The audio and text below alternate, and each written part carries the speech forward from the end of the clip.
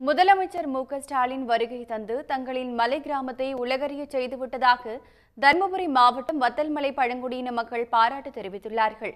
தருமபுரி மாவட்டத்தில் சுற்றுப்பயணம் மேற்கொண்ட முதலமைச்சர் மு க ஸ்டாலின் கடல் மட்டத்திலிருந்து ஆயிரத்து அறுநூற்று நாற்பது அடி உயரத்தில் உள்ள வத்தல் மலைக்கு சென்று ஆய்வு மேற்கொண்டார். அங்குள்ள ஏழு குக்கிராமங்களில் ஐந்தாயிரத்துக்கும் மேற்பட்ட மக்கள் விவசாயத்தை பிரதான தொழிலாக கொண்டு வசித்து வருகிறார்கள். அங்குள்ள மலைவாழ் மக்களிடம் கலந்துரையாடிய முதலமைச்சர் அனைத்து கோரிக்கைகளையும் நிறைவேற்றி தருவதாக வாக்குறுதி அளித்தார். முதலமைச்சர் ஒருவர் தங்கள் மலை கிராமத்திற்கு வருகை தருவது இதுவே முதல் முறை என மகிழ்ச்சி தெரிவித்த அப்பகுதி மக்கள் பழங்குடியினருக்கான ஒரு சதவீத இடஒதுக்கீட்டை ஐந்து சதவீதமாக உயர்த்த வேண்டுமென வலியுறுத்தியுள்ளார்கள். நாங்கள் வத்தல்மலை கிராமத்தில் இருக்கோம். எங்கள் ஊர் வந்து இது வரைக்கும் யாருக்கும் அவ்வளோவா தெரிஞ்சது கிடையாது. முதல் முறையாக இந்த ஊருக்கு முதல் முதல்ல ஒரு முதலமைச்சர் வந்திருக்காரு. இதுக்கு மேலே தான் எங்கள் ஊரில் நிறைய பேருக்கு தெரிய வரும்.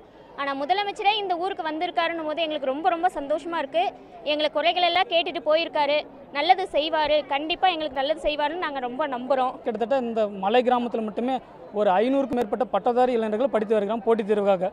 இது வந்து அவங்களுக்கு ந- அவங்களுடைய வேலைவாய்ப்புக்கு வந்து பெரிய பின்னடைவாக இருக்குது இந்த ஒரு சதவீதம் இடஒதுக்கின்றது.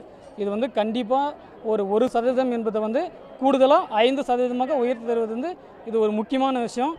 இது கண்டிப்பாக கருத்தில் கொள்ள வேண்டியது. இது வந்து எங்கள் முதல தமிழக முதலமைச்சருக்கு நாங்கள் ஒரு கோரிக்கை வைக்கிறோம்.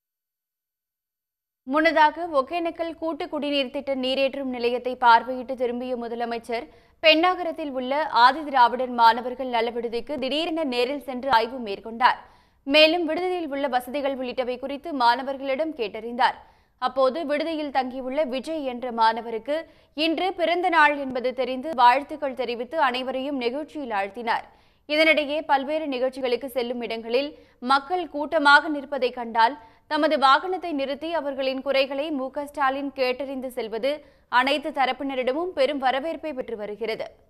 உடனுக்குடன் செய்திகளை தெரிந்து கொள்ள சன் நியூஸ் பெல் கிளிக் பண்ணுங்க.